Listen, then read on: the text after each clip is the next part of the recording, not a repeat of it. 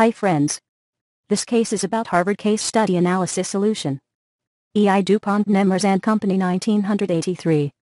According to the company's capital structure policy, the dividend payout ratio was not going well in the company's conservative policy because the changes in the economic situation had hindered the performance to increase the earning per share, which is subject to the company's dividend per share.